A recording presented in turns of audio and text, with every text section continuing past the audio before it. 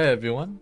So I have a little spot here to farm a lot of oranges really really fast. All you need is just your motorcycle to like move around really quickly and it's in the area down here where it's a secret harbor and then there's a teleportation tower right here.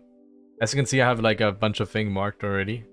This is basically if you need anything else but but the orange you actually start up here by the road can just show you real quick where it is. And then you end down here, and then you basically just go back and forth and they will all respawn.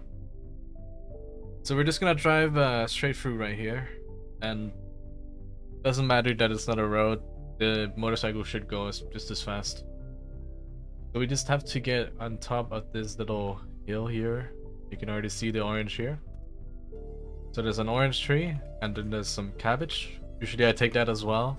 The cabbage is nice for uh, veggie stew. And we just head back down the hill.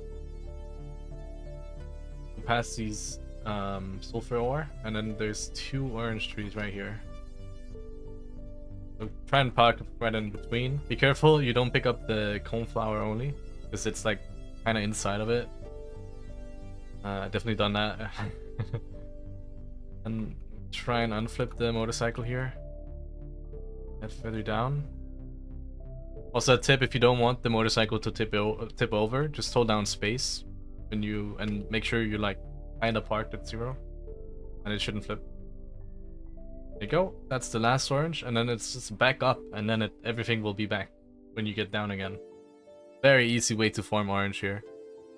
Uh, I, I basically do like the trip and then I wait. I think I farm for maybe 15 minutes because that's the timer to go back to your house if that's like something you would like to do. But hopefully that helps. Thank you for watching. Bye.